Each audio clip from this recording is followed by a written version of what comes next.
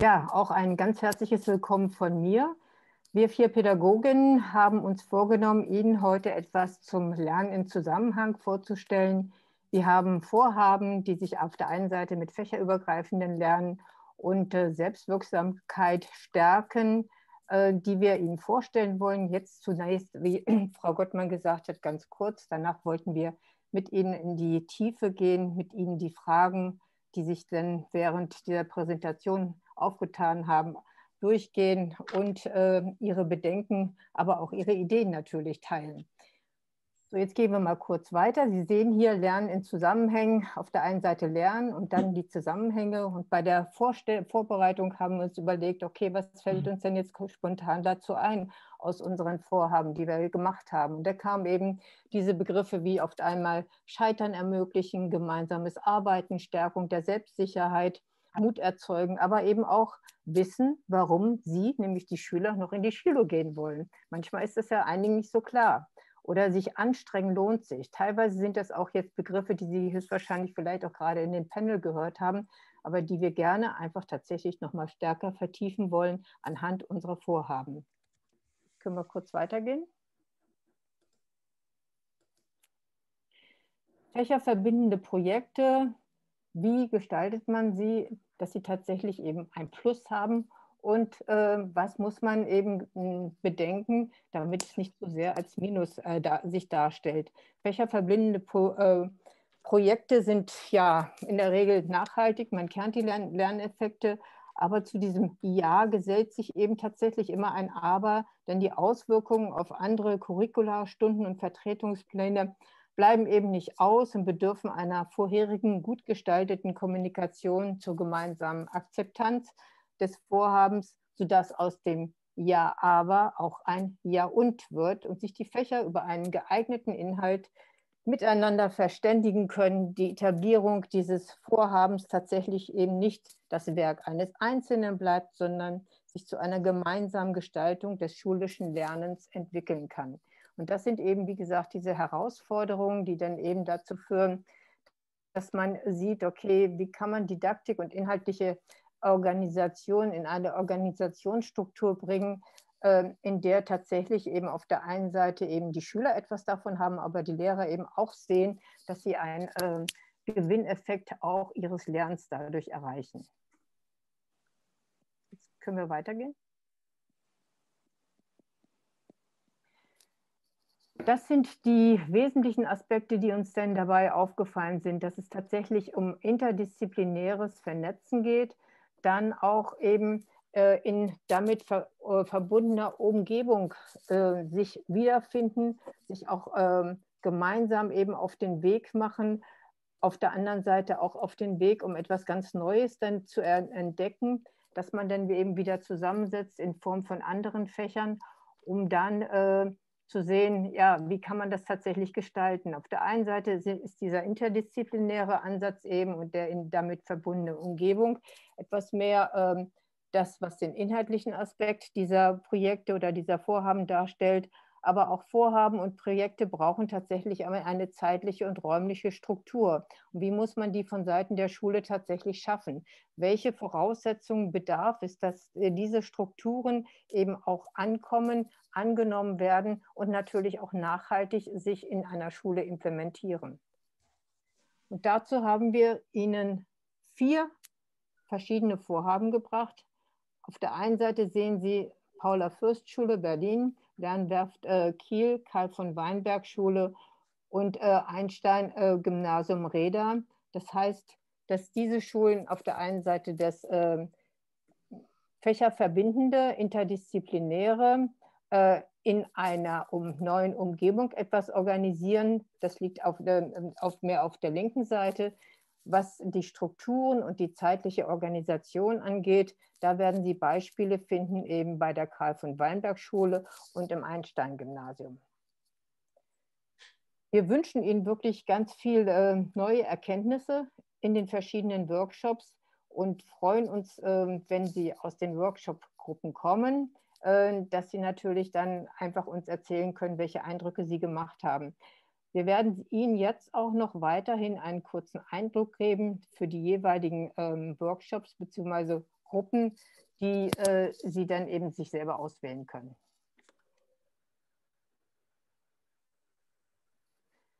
Dankeschön, Brigitte. Würdest du direkt mit deinem Beispiel ja, starten?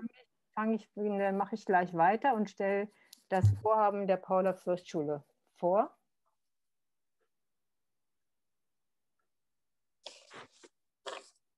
Corinna, machst du das?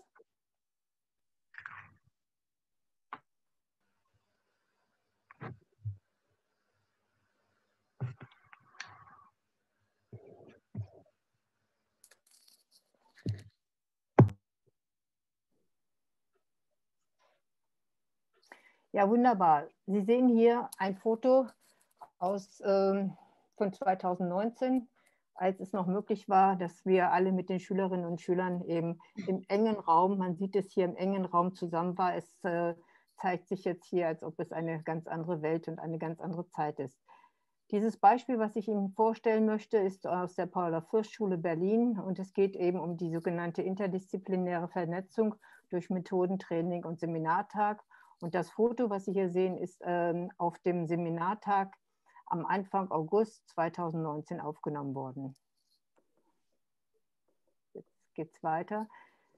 Ich hatte Ihnen anfangs gesagt, dass wir uns Gedanken gemacht haben, was uns spontan, brainstorm-mäßig einfach einfällt, wenn wir an unsere Vorhaben denken und eben auf der einen Seite dieser Aspekt von Seiten der Schüler her, wissen, warum ich lernen will, aber auch eben von Seiten der Lehrer, der Lehrkräfte her, Wissen vermitteln. Wie kann man Wissen vermitteln und das Methode stärken? Besonders, äh, dass die Schülerinnen und Schüler, die erst in die 11. Klasse äh, kommen, zum Beispiel auch ähm, nicht auf einem Gymnasium waren, sondern vielleicht auf einer anderen äh, integrierten Sekundarschule. Wir sind eine Gemeinschaftsschule, dass diese Schüler tatsächlich eben das Angebot, was in der 11. Klasse darstellt, auch wirklich effektiv nutzen können und wirklich eben diese, diese sogenannte intrinsische Motivation einfach für sich selber auch entdecken. Geht es weiter? Nochmals, also wissen, warum ich lernen will, vermitteln, dass sie mehr ähm, können, als sie glauben. Oftmals ist es so, dass Schüler in die Schule kommen, also in die gymnasiale Oberstufe ohne dass sie tatsächlich eben wissen, ja, warum soll ich das jetzt machen? Meine Eltern haben gesagt, ich soll Abitur machen, aber vielleicht will ich das gar nicht. Oder ich mache es deshalb, weil äh, Freunde mir gesagt haben, sie gehen auf jeden Fall auch weiter. Und abgesehen davon ist es natürlich gesellschaftlich auch angesehen, dass man halt Abitur macht. Und das ist natürlich auf der einen Seite nicht jetzt unbedingt die beste Voraussetzung, tatsächlich eben Abitur zu machen. Aber dann zu sehen, dass sie es können und dass sie eben einfach äh, Interesse haben und dieses Interesse zu entwickeln, das ist ja genau das, was äh, wir auch in der Schule ihnen immer wieder geben sollen. Ähm, aber teilweise ist es natürlich auch so, dass es eben halt die Angebote da äh, gebracht werden können und müssen, die äh, ihnen auch diesen, diese Möglichkeit der Selbstwirksamkeit, diese zu stärken, eben auch offeriert wird. In der Paula-Fürst-Schule ist es so, vielleicht können wir weitergehen, dass wir ähm, eine Zusammensetzung aus den Schülerinnen der 11., des 11. Jahrgangs haben, die A aus der eigenen äh, Sekundarstufe, aus der Sekundarstufe 1 kommen, das sind ungefähr 60. Und dann haben wir auch noch Schülerinnen aus unserer Partnerschule, das sind ungefähr 35 und dann noch ungefähr 15 bis 20 Schülerinnen, die aus ganz anderen äh, Sekundarstufen, Schulen, Sekundarstufen kommen. Das ist natürlich dann eine bunte Mischung und da muss man natürlich auch erstmal sehen, wie sind die, äh, ja, die fachlichen Voraussetzungen dieser Schüler. Das hat dazu geführt, dass wir uns überlegt haben, wie können wir sie tatsächlich eben gleich von Anfang an in ein, gemeinsam, äh, ja, in ein gemeinsames Kennenlernen zusammenbringen, aber auch in ein gemeinsames äh, Erleben, was tatsächlich auch die gymnasiale Oberstufe bedeutet. Und diese Selbsteinschätzung und Selbstwirksamkeit stärken, haben wir dadurch äh, vorab auch schon mal entwickelt, indem wir einen Reflexionsbogen vor Einstieg in die Sekundarstufe 2 entwickelt haben. Den haben wir, vielleicht können wir mal kurz weitermachen. Genau, den haben wir denn in der 10. Klasse verteilt, sind, davon, äh, sind damit auch in unsere Partnerschule gegangen und haben, wenn es schon Schülerinnen gab, die sich relativ früh für unsere Schule entschieden haben, auch diesen, diesen ähm, ähm, Reflexionsbogen gegeben. Dieser Reflexionsbogen hat uns dann gezeigt, ja, dass es wirklich viele Schüler gibt, die unheimlich in, ja, Lust und Interesse haben auf die 11. Klasse, aber die auch ganz ehrlich gesagt haben, dass sie eben Angst haben, dass sie nicht ganz genau wissen, ob sie den Anforderungen entsprechen können und äh, dass sie, ähm, ja, dass sie dann aber trotzdem äh, diesen Versuch wagen werden. Wir haben Ihnen auch gesagt, dass wir sogenannte Hilfsangebote haben. Wir haben Lernberatung und Lerncoaching. Und haben Sie dann gefragt, was Sie darunter verstehen. Und erstmal haben Sie das äh, als etwas, äh, ja, wussten Sie nicht unbedingt, was Sie damit anfangen sollten. Nachdem wir Sie dann einfach beraten haben, beziehungsweise Ihnen erzählt haben, was es ist, fanden sie das wirklich sehr, sehr interessant und konnten sich das vorstellen, sich auch darauf einzulassen und möglicherweise auch über ihren Schatten zu springen und äh, so ein Lerncoaching auch für sich selber in Erwägung zu ziehen. Vielleicht können wir mal weitergehen. Diese ganzen Überlegungen und auch diese Evaluation, die sich aus den Fragebogen ergeben hat, ähm, führte denn dazu, dass wir vorab eigentlich schon diese Frage uns gestellt haben, ob es nicht gut ist, wenn wir Methodenkurse einrichten. Methodenkurse, die wir jetzt nach ähm, der ersten Profilphase ähm, jetzt halb, halbjährlich anbieten. Also wir haben vier elfte Klassen und in den vier elften, die vier elften Klassen teilen wir so ein, dass jeweils zwei im ersten Halbjahr und zwei im zweiten Halbjahr an diesem Methodenkurs teilnehmen. Und um es noch ein bisschen äh, intensiver bzw. auch interessanter für die Schülerinnen und Schüler zu gestalten, haben wir diese Methodenkurse fachlich aufgeteilt. Also es gibt eben jeweils drei Aufgabengebiete. Ähm, einen Methodenkurs für den gesellschaftswissenschaftlichen äh, Bereich, dann für den naturwissenschaftlich-mathematischen und dann für Kunst- und geisteswissenschaftlichen Bereich. Das sind jeweils drei, also im Ganzen sind es drei Lehrerinnen, die äh, sich zu der gleichen Zeit eben ähm, drei Stunden die Woche, wir haben das auch ähm, drei Stunden in, ähm, ähm in einer, an je einem Tag gegeben, äh, treffen und diese Schüler ja eben entsprechend ihrer, äh, ihrer geisteswissenschaftlichen oder fachlichen Ausrichtung dann auf Präsentationen vorbereiten. Denn wir, unsere Idee war, dass wir anhand von Präsentationen am besten Methodenkurse äh, vorstellen können, beziehungsweise in die Methoden ein, äh, äh, einleiten können. Denn die Schüler müssen alle am, ähm, ja, im Abitur eine Präsentation machen oder die Präsentationen sind natürlich mehr oder weniger ein, ein, ganz wesentliches Werkzeug während der gymnasialen Oberstufe. Und anhand dessen können sie am besten lernen, was es bedeutet, wissenschaftlich zu arbeiten, wie man sich eben in ein Thema hineinarbeitet, wie man überhaupt erstmal ein Thema sich erarbeitet, an dieses Thema hinankommt, dieses Thema zu seinem eigenen Thema macht, wie man an die Möglichkeiten der, ähm, ja, der, äh, des Materials herankommt und das dann eben so fachlich und äh, gestalterisch aufarbeitet, dass man es eben auch präsentieren kann. Diese Präsentation.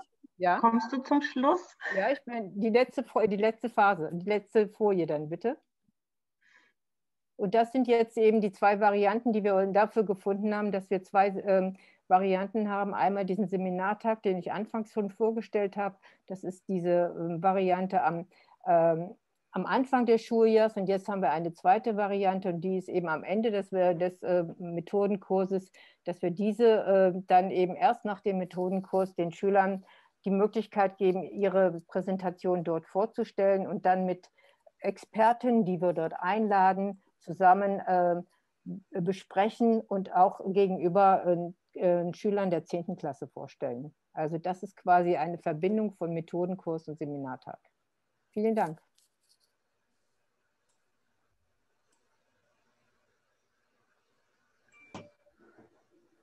Dankeschön, Brigitte, für, die, für den kurzen Einblick. Wer mehr darüber wissen möchte, kann sich nachher vertiefend bei Brigitte in, den, in die Workshop-Phase einwählen. Ähm, ich übergebe jetzt gleich mal nahtlos an Martin. Sehr gut. Ich äh, versuche mal hier meinen Bildschirm zu teilen. Ähm, achso, jetzt sieht man die Folien noch.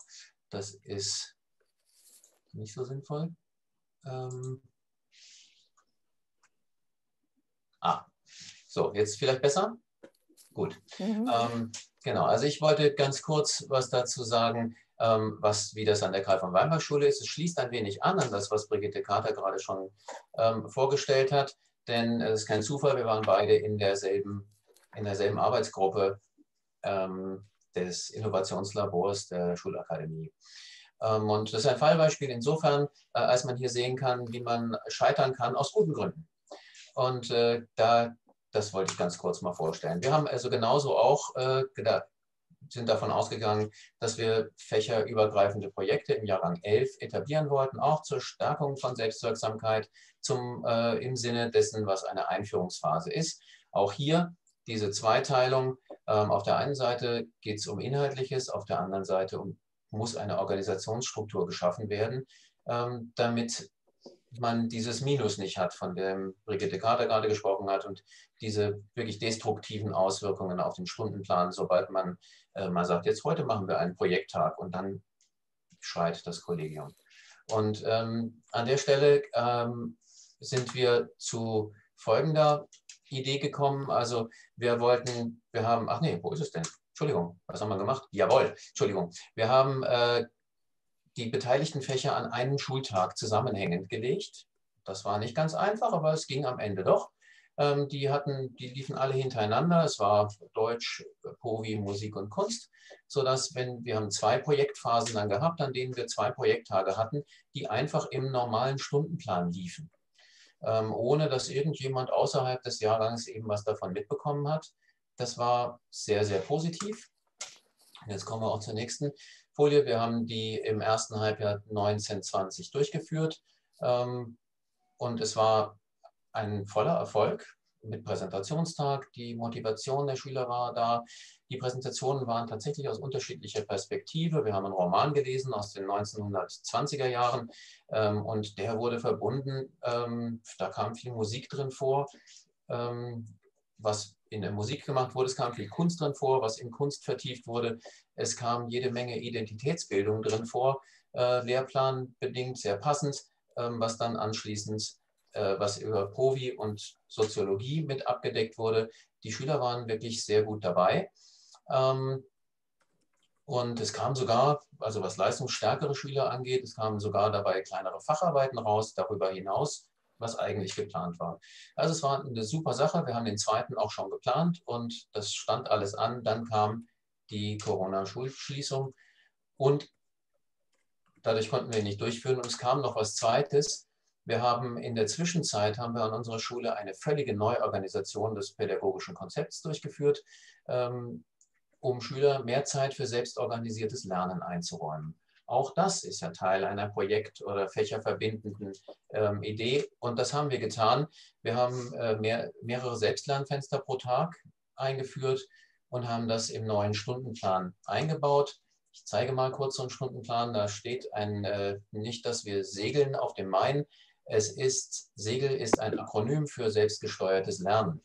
Und man sieht hier auf, der, ähm, auf dem Stundenplan, wir haben also hier zwei große Bänder, in denen jeden Tag selbstgesteuertes Lernen stattfindet. Kleine Inseln hier und da in einzelnen Jahrgängen. Das liegt aber an Corona. Eigentlich sollte, müsste das ganz klar immer Jahrgangs, also schulweit so sein. Und das haben wir tatsächlich vor einem Jahr abgestimmt in der Gesamtkonferenz und haben das eingeführt zu diesem Schuljahr, sodass jetzt das eigentliche Projekt, mit dem wir begonnen haben, ein wenig in den Hintergrund gerückt ist.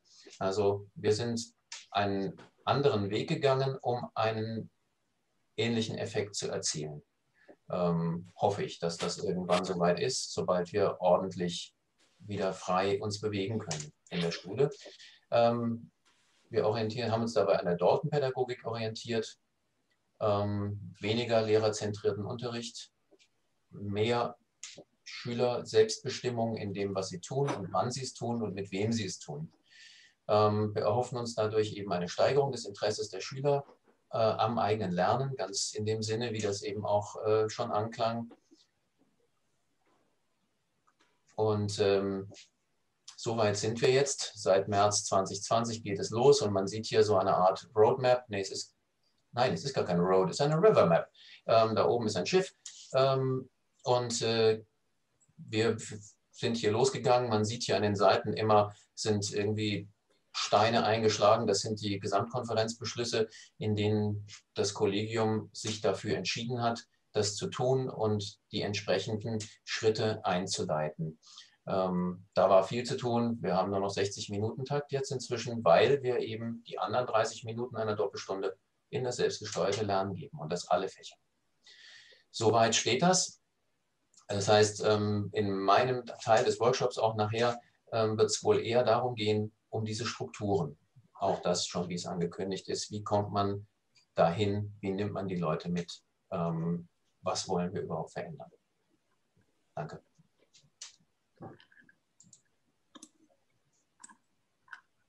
Dankeschön, Martin. Es gibt zwei ganz kurze Fragen mit der Bitte um eine ganz kurze Antwort. Gibt es Segel bei euch nur im 11. Jahrgang, ist die eine Frage.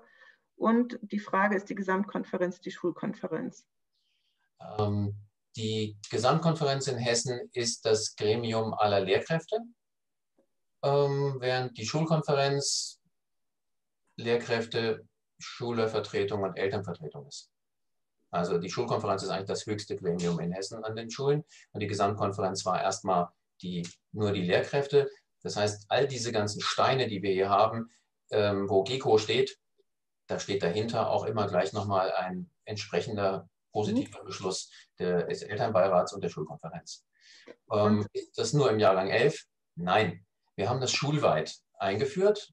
Ähm, das heißt, an dieser Stelle, wo diese blauen Segelstunden sind, an der Stelle hat die ganze Schule selbstgesteuertes Lernen. Und wenn man eines Tages wieder so weit sein wird, dass man sich bewegt, frei bewegen kann, ähm, dann können die Schüler jahrgangsübergreifend sich zusammentun, sich mit Freunden aus Parallelklassen zusammentun in diesen Zeiten, ähm, um an Dingen zu arbeiten.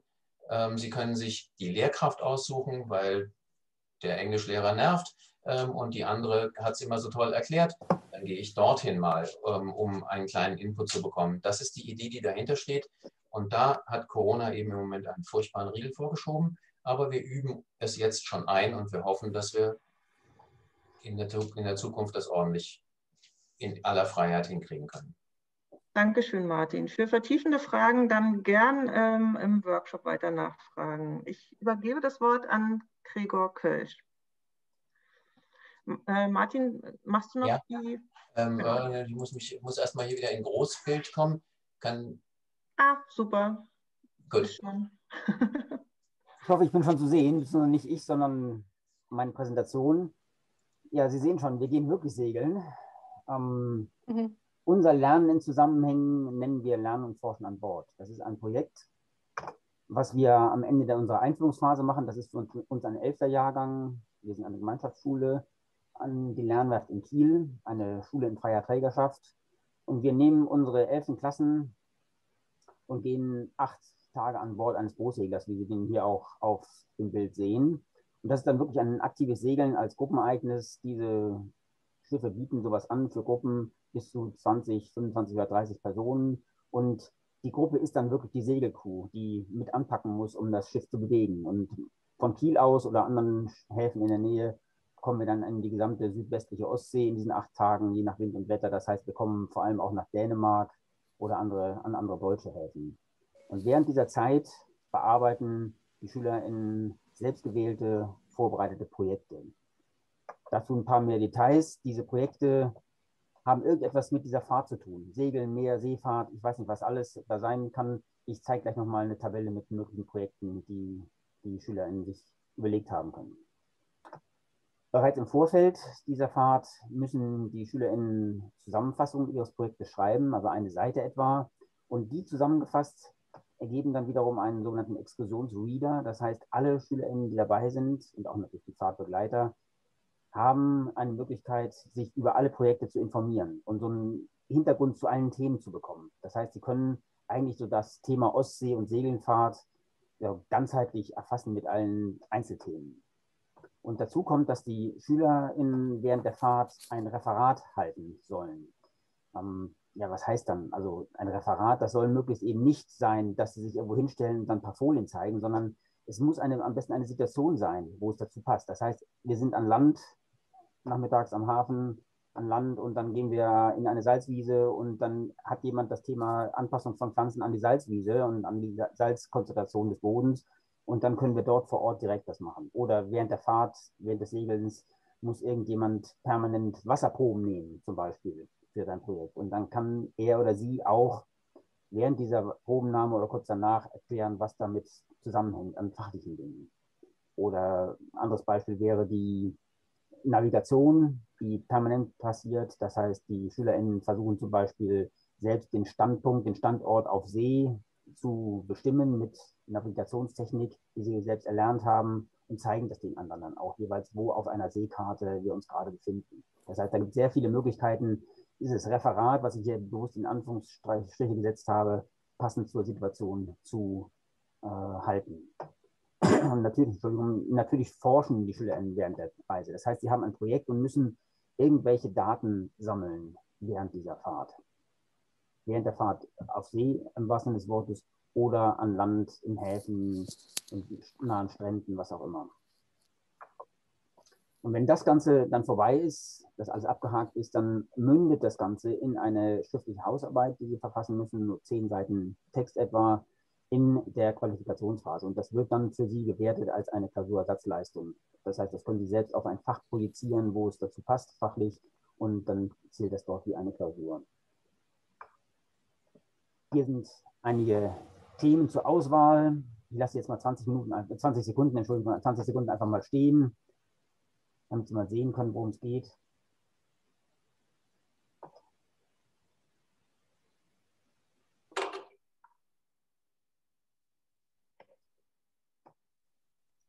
Sie sehen, das ist unheimlich weit gefächert und das ist einfach der Kern der Sache.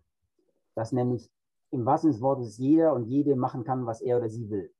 Und das ist so angelegt, dass wir hier die freie Auswahl stellen und jeder nach seinem eigenen Metier, seinen eigenen Neigungen ein solches Thema wählen kann. Und eigentlich ist es auch kein Problem, dass die SchülerInnen irgendwas als Thema finden, was zu der Ostsee oder zu der Segelfahrt dazu passt.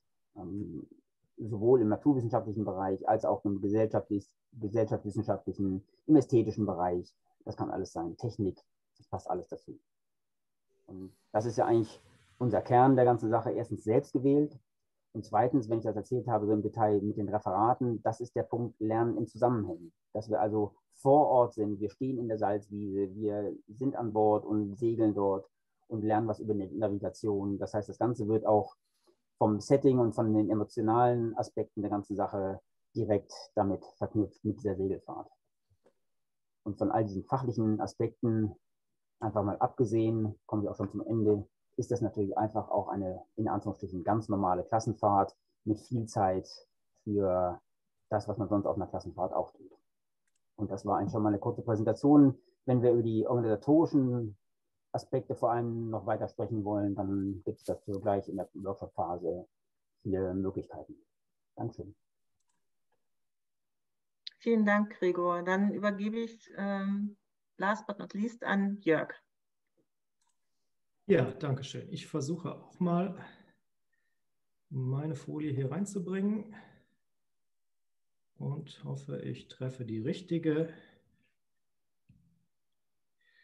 Ja, wenn Sie und ihr das jetzt sehen könnt, zu schon fortgeschrittener Stunde, dann würde ich ein wenig erzählen zu dem, was wir am Einstein-Gymnasium uns ausgedacht haben, ähm, mit, mit der gleichen Motivation, die eben schon in, im Eingangsvortrag ähm, beschrieben wurde.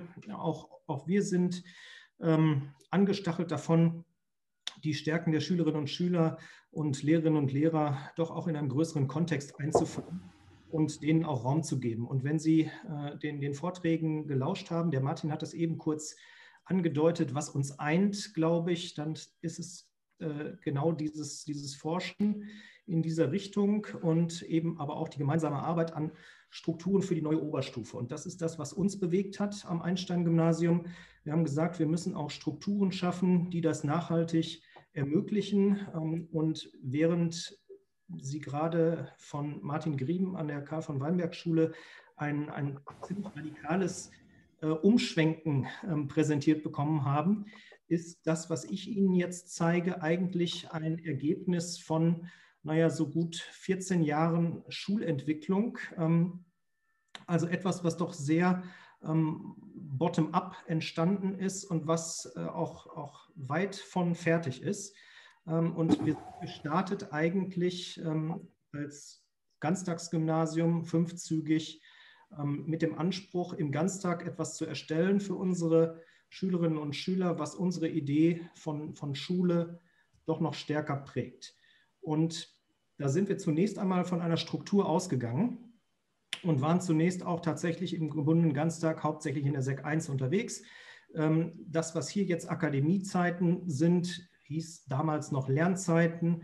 Und wie das bestimmt an vielen Schulen ist, die inzwischen äh, Lernzeiten irgendwo etabliert haben, das ist ein, ein ständiger äh, Prozess, eine ständige Baustelle. Und so ist das auch bei uns seit vielen Jahren. Wir haben immer wieder nachgesteuert und haben geschaut, wie, wie können wir diese Zeiten vernünftig füllen, um einerseits äh, eine gewisse Freiheit, einen, einen freien Zugang zu ermöglichen, andererseits aber auch Kindern ein, ein, einen Weg mitzugeben, wie sie auch selbst ihre Freiheit gestalten können. Ähm, Im Vortrag eben äh, hat die, die Vertreterin ähm, der, der Hochschule gesagt, dass gerade dieses Lernen, Lernen ein Faktor ist. Und das haben wir immer so interpretiert, wenn man das wirklich lernen will, dann braucht man Freiheiten und dann braucht man auch Gelegenheiten zum Scheitern. Und die sind da zuhauf gegeben und die werden auch ähm, massiv genutzt.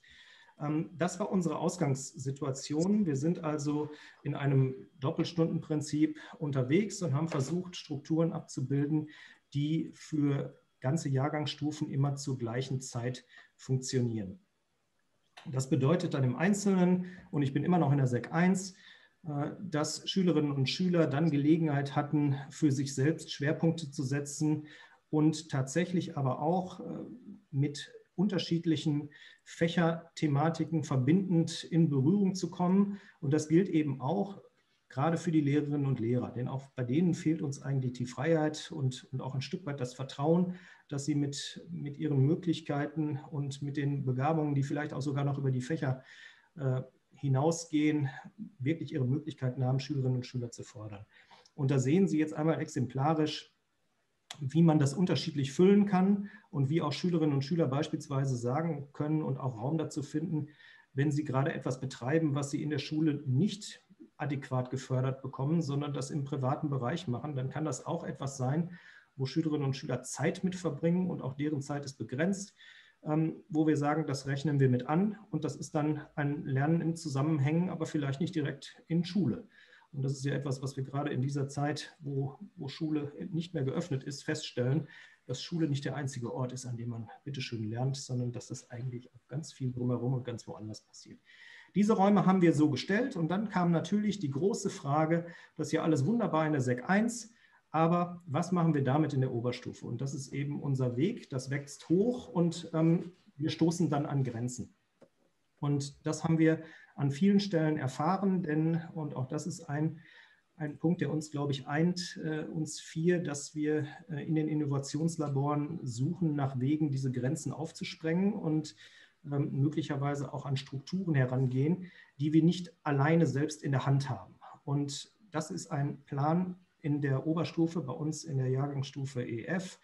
Einführungsphase meinte äh, Nordrhein-Westfalen, das abkürzen zu müssen, ähm, in der ein Stundenplan doch eigentlich schon recht voll ist und sehr vorstrukturiert ist und eigentlich Zusammenhänge über die Fachlichkeit hinaus sich erstmal gar nicht erschließen, wenn man den Schülerinnen und Schülern auch mal ein bisschen Freiheit ähm, außerhalb von Schule gewähren möchte.